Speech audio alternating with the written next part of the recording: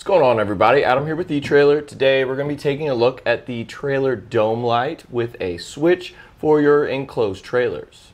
This is going to be an interior light for your enclosed trailers. It's going to be great for when you just need a little bit more light. It gives off a nice warm look so it's not really a really white light. And it isn't going to be LED so what we need is an incandescent bulb. This is going to be bulb type 1141. If you already have this and you need a replacement, we have some on our website. So if it does eventually go out, you don't have to worry, E-Trailer takes care of you. So it's just pop on lens right here. It's a white lens, as you can see here. So it's a nice clean look, and it does have a nice aluminum frame to it.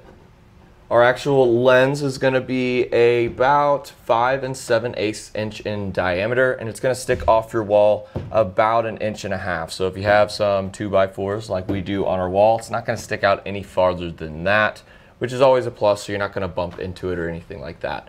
The mounting holes on center is going to be about 4 and 3 quarters of an inch and this is going to be for your 12 volt DC systems. It's going to pull about 0.4 amps and it is a one wire system.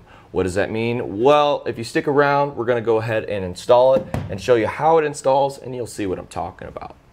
First thing we wanna do is figure out where we want our light. I want it right here and then you need to run your wires and if they're already there, great, check that off the list. So what we're gonna need is a positive and negative wire. So what we have on our light here is just gonna be this one here. This is gonna go to positive. So once we get it to positive, what we're gonna do is, since there's only one wire, what we're gonna do is we're gonna take this little connector and go on our negative wire.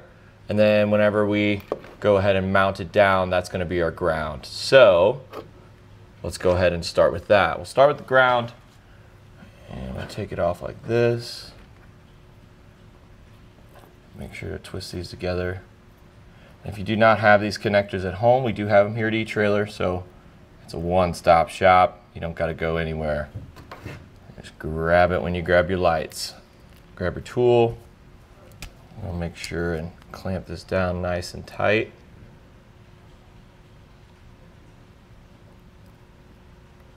Just like that.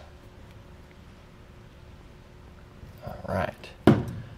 Give it a good tug, make sure it's nice and snug. And then what we can do is we will take our only wire here, it's already split for us. Let's pull that off. Strip your other wire, twisty twisty. And then I usually like to start with one side, put it in, crimp it down just on that one side.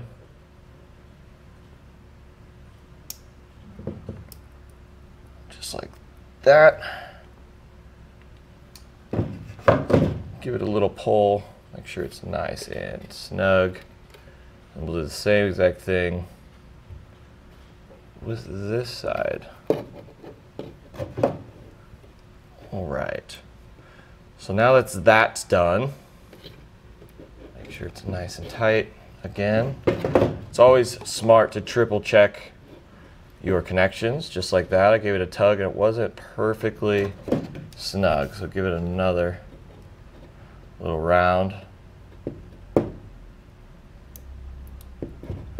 Make sure it's nice and connected so we don't have to redo this later. That's always just time consuming and just unnecessary. So put in the time now, make sure it's nice and good to go. And then we're ready to mount this to our wall. So now what we want to do is take our ground wire, put it on our little screw. The screws are not included, so just use a self-tapper if you're going into the frame or whatever kind of screws you have laying around really. Whatever's just going to get it nice and secure down. And then we can go ahead and fish all of our wires back in there, make it nice and tidy.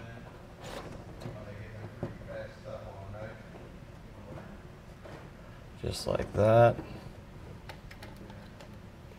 And what I'm going to do is utilize one of the holes that we already had here. Just like that.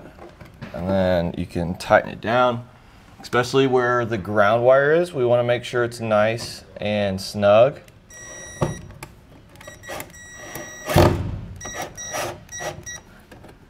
Just like that.